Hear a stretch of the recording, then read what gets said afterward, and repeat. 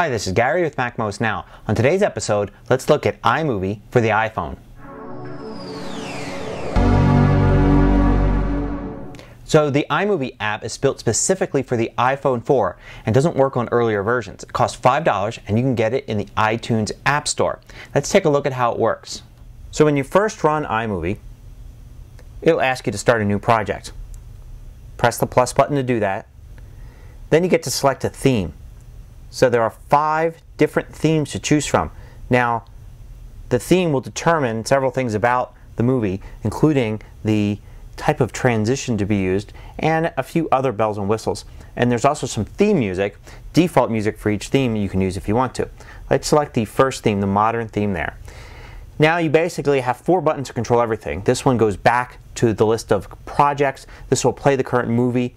This is add media. Let's press that and it'll show you all the videos that are on your iPhone. And these have to be videos that you took with your iPhone. So let's choose one here. Fortunately, you can't choose a video that you've imported onto your iPhone. Now you've got a timeline here at the bottom that you can scrub back and forth on. And then you see the preview there. Let's add a second piece of media. That one.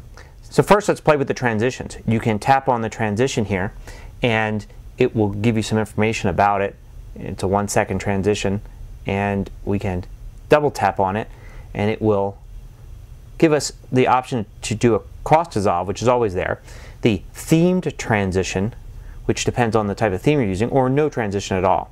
Now you can trim any of these clips by simply selecting it here in the timeline and then dragging one of these points and we'll shrink it.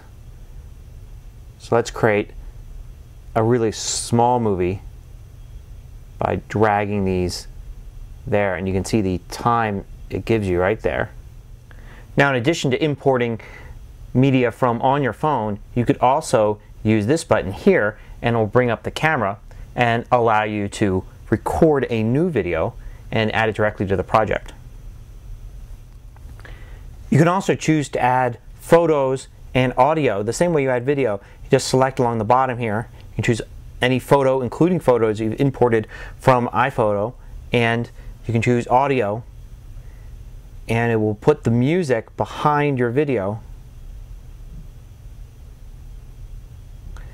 And then throw it back there. Now, what you can't do in iMovie for the iPhone is add multiple tracks of audio and specify where they are. Can only have this one track and it goes behind the entire video.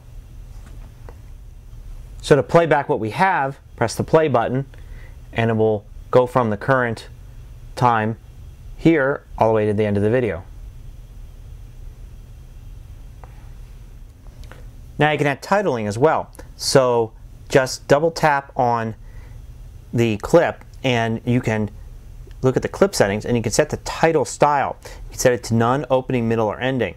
Now, opening and ending, they only appear at either end of the clip. The middle will appear throughout the entire thing. So it's basically a lower third, something on the left there, and a lower third again, but just at the end. So for instance, in the opening here, I could have it over there. I can double tap on it, and I could say, put a title in there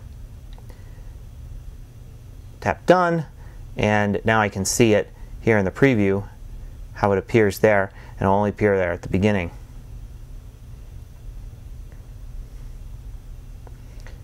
And you can see that was the transition for the modern theme there.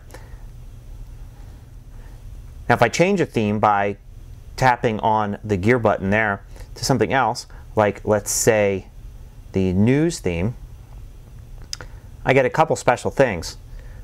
First is that opening sequence, that opening title, now actually shows the location of the video. It knows from the GPS information taken from the iPhone that that video was shot in Denver and it'll actually pinpoint it there on the map as well as put the title that I want. And also you notice the transition is changed as well. So we play it back. This is what we get by just changing the theme.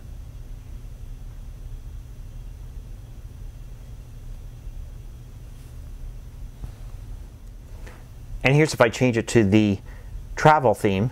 You can see it still has the map there. and a different transition. Going back to the clip information, you can see I can change the location there if I need to. Uh, I can also change the title style there. And I can turn the audio on and off for that clip if I just want to silence it and just have the music go through. So when you're done, you go back to the list of projects, which you can swipe back and forth between if you have more than one. And you can use the export button there and export it either in medium, large, or HD format. So let's, for instance, choose HD and we'll export the movie.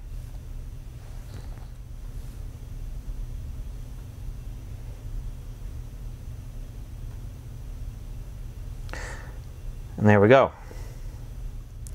From this screen, you can also preview the movie full screen, like that.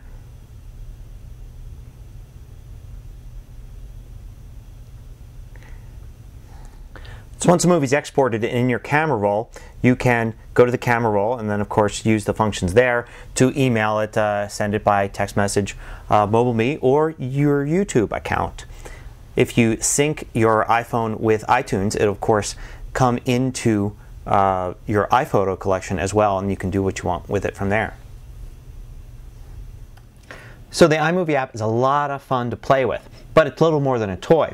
I don't see why anybody wouldn't just wait till they got home and then edit the movie in iMovie on their Mac, which is far more capable, and you can do a lot more with it and create videos that are truly unique. Here you're basically restricted to one of the five themes, and all your movies are going to look alike and look like everybody else's movies that are made in the app.